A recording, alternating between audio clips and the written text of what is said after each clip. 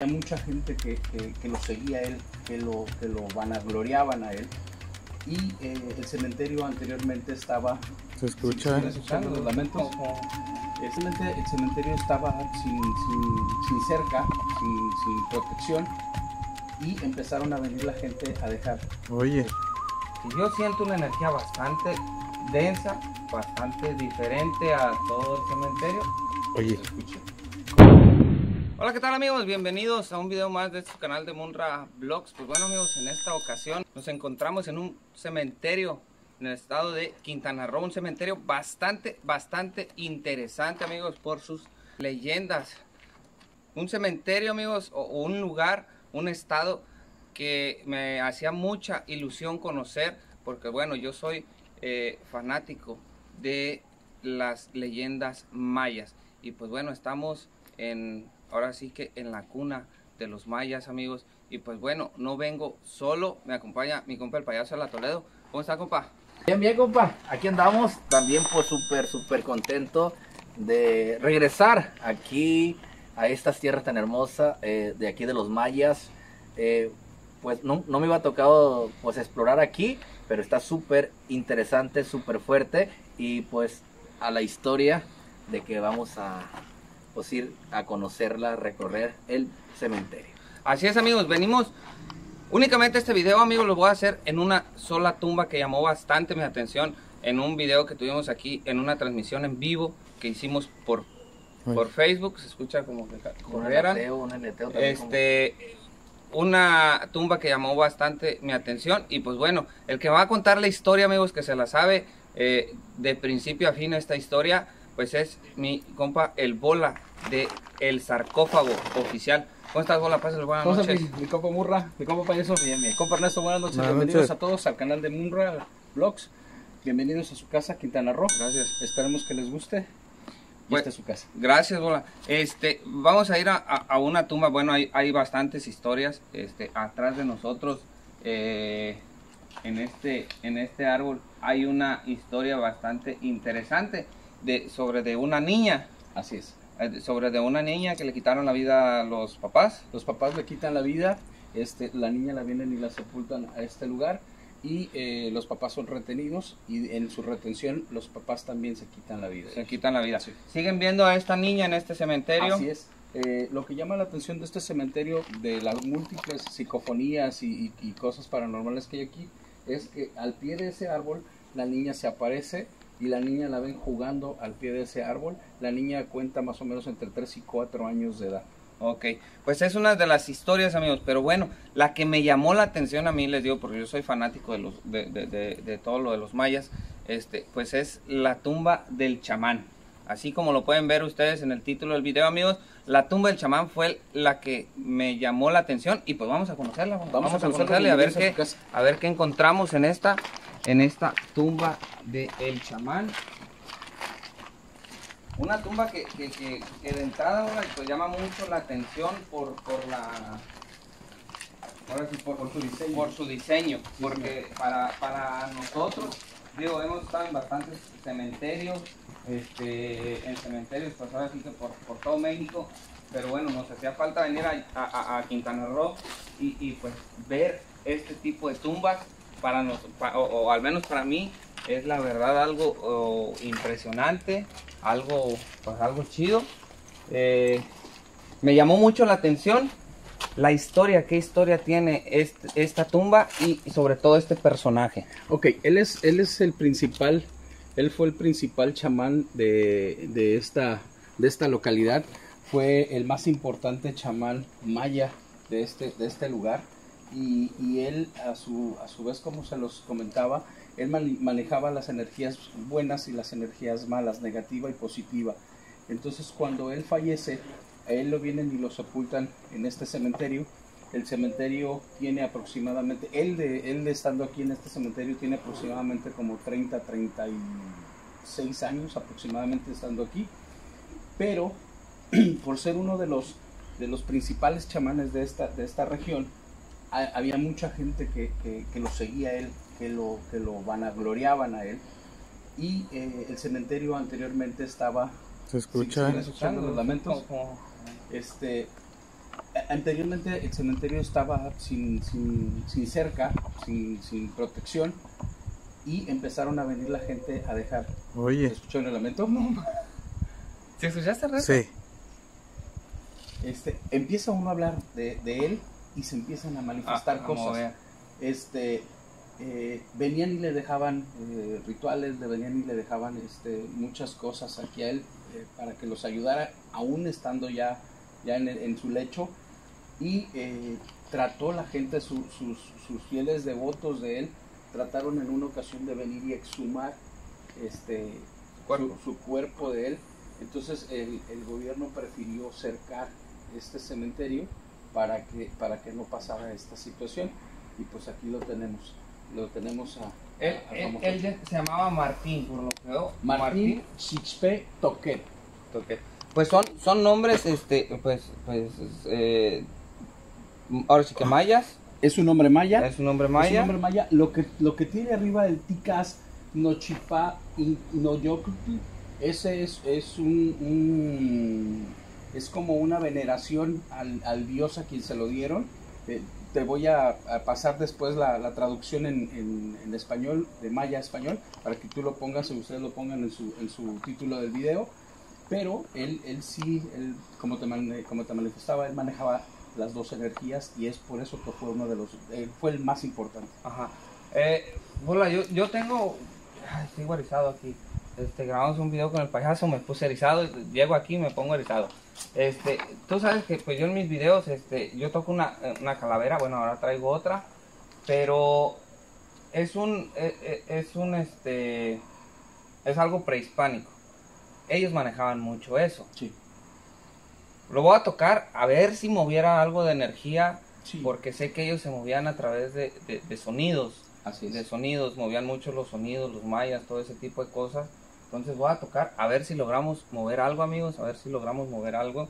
Este, yo me imagino que sí, porque pues ellos eh, movían a través de, de sonidos, del viento, de todo este tipo de cosas prehispánicas. Y pues bueno, ahorita nos sigues con- comentando porque acá tenemos otra tumba que está golpe. está relacionada con, con, con él. Y pues bueno, voy a tocar la calavera.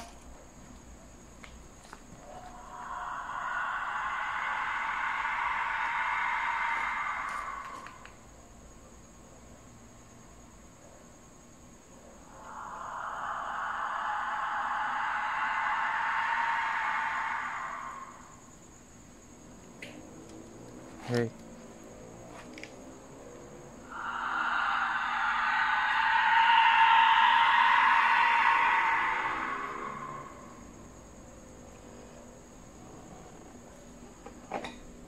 Bueno, espero que se mueva un poquito y poder captar algo. Que yo siento una energía bastante densa, bastante diferente a todo el cementerio. Oye, Se escucha. Como si van caminando. sí, sí. sí, sí. Y se escucha cuando caminas encima de las hojas.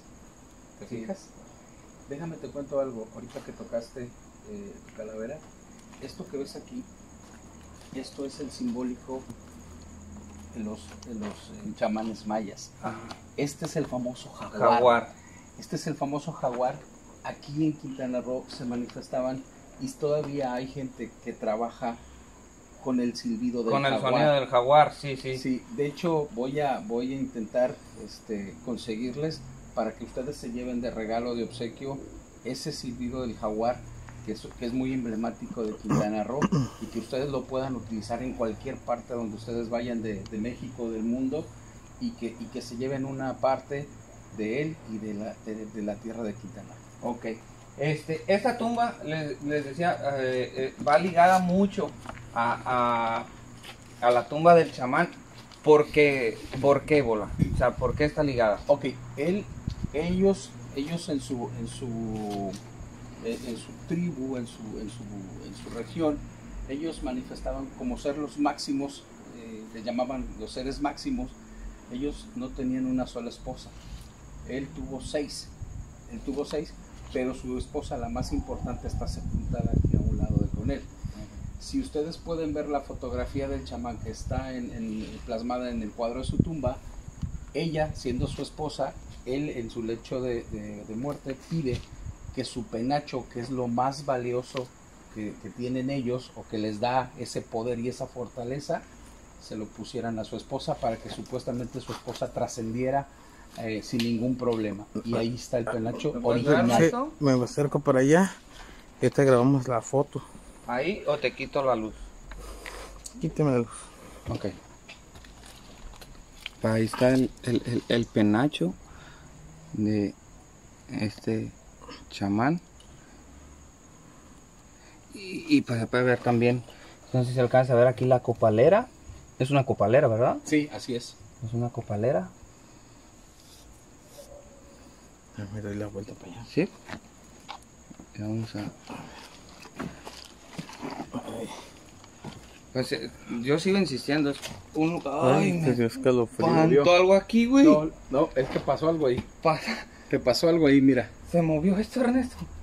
Se movió Sí, yo vi el brinco que dice, pero no, Se no movió. alcancé a, a, a grabar. Yo insisto, insisto que, que, que la tumba pues tiene algo, tiene, tiene algo de Ey, golpe. golpe. Ahí está, Ernesto. Tiene algo de, de, de magia, algo de energía. Eh, sabemos que pues ellos movían mucha, mucho la energía. Este, me comentabas aquí sobre los sobre los aluches. Sabemos que, que los aluches, tanto los aluches, tanto como los mayas, eh, movían mucho los cuatro elementos. Así es. Ellos se movían a través eh, de los cuatro elementos, es el agua, la- el agua, el, la- el aire, la tierra y el fuego. Así es. Entonces, este, los aluches pues son seres elementales. Eh, aquí hay mucha vegetación, Sí. hay mucho eh, por donde quiera, pueden encontrar los cuatro, los cuatro elementos. Sí. Ellos lo movían bastante, entonces, pues no sé si eso tenga que ver de que se sienta esa, esa, esa energía Ese diferente. Es, esa es parte de lo que de lo que se manifiesta esta tumba. Esa es la energía que tú sientes en tu cuerpo al, al, al pasar que se eriza precisamente porque en estas tierras los, los eh, seres más elementales de Quintana Roo son los aluches y son los seres que más, que más protegen la vegetación, eh, nuestros mantos acuíferos, nuestros cenotes, todo eso es lo que más, lo que ellos más protegen. Aquí se manifiesta que si tú entras a un lugar o si ustedes entran a un lugar donde sepamos que hay aluches, tenemos que hacerles una ofrenda a los aluches o pedirles la autorización de poder entrar a su, a su, a su tierra o poder explorar alguna parte de ellos, porque de no hacerlo así, eh, podríamos ser agredidos por ellos. Ha pasado muchas, muchas ocasiones en que han querido entrar exploradores a lugares, a, cenotes, a cuevas, eh, sin pedir una autorización, sin ofrecer una ofrenda, y han salido este, con accidentes, quebrados, este, que, que son accidentes que pasan dentro de, de los lugares, pero es que, es que no, no se pide una autorización o no se ofrende. Y es, la, y es la manera de, de- de- de manifestar su inconformidad Sí, de ellos así de es. no pedir Sí, permiso. así es. Pues bueno amigos, este Sí. una tumba que les digo no quería dejar pasar sin llevárselas a ustedes, bastante interesante, algo por algo corto el video porque únicamente me quise enfocar a esta tumba que para mí pues llamó mucho la atención por, por el diseño de la tumba, pero sobre todo por la historia y por la energía que se siente en este lugar. ¿Qué te pareció payaso? Pues muy, muy interesante, compa Munra. Oye, un ruidosito, algo por acá, ¿eh? Déjenme comentarles algo rapidísimo. Ustedes ya lo vivieron, ya lo escucharon. En este lugar, en este cementerio, es muy especial que escuches los golpes de las tumbas de adentro hacia afuera. Se escucha mucho como si golpearan de, de la parte de adentro hacia afuera en las tumbas. Y eso es algo que todavía no nos explicamos. Hemos explorado varias veces, hemos investigado, hemos dejado cámaras toda la noche y, y- y- y se siguen escuchando esos golpes y es, y es algo que puede ser de él, puede ser de los aluches, puede ser de, de otras entidades que hay. aquí. Ok. Pues bueno amigos, ojalá les haya gustado este video. Eh, yo la verdad lo disfruté mucho, yo disfruto mucho este tipo de, de, lugares, este, todo, todo lo que tenga que ver relacionado hacia los mayas. Yo la verdad estoy encantado de estar aquí y más eh, que nunca había escuchado de un chamán con descendencia maya. Eh, o sea, ahorita andamos con, con el brujo mayor de Catemaco, pero conocer a un chamán con descendencia maya, eh, para mí es mis respetos. Por lo que manejaban ellos El golpe. y, y- y sobre todo por lo que ellos llegaron a crear en el estado de, en el estado de Yucatán y en el estado de, de Quintana Roo. Este, la verdad, mis respetos para todos ellos. Y pues bueno, amigos, eh, vayan a seguir a mi compa el payaso de la Toledo. Por aquí les dejo sus redes sociales para que vayan a seguirlos, los que aún no lo siguen. También a mi compa el Bola de El Sarcófago Oficial. Así me encuentran. Así, en todas las redes sociales. En Facebook y en YouTube, así el sarcófago oficial, aquí abajo me. Aquí se los voy a estar dejando abajo, amigos, para que vayan a, se- a seguirlo. Atrás de cámara, mi compa Ernesto de Zona Paranormal Veracruz. También aquí abajo les voy a estar dejando sus redes sociales para que vayan a seguirlo. Y ya saben, amigos, si les gustó el video, no olviden suscribirse al canal. Dejarme su manita arriba, su comentario. Activen la campanita para que les notifiquen en el próximo video. Saludos a todos. Bendiciones.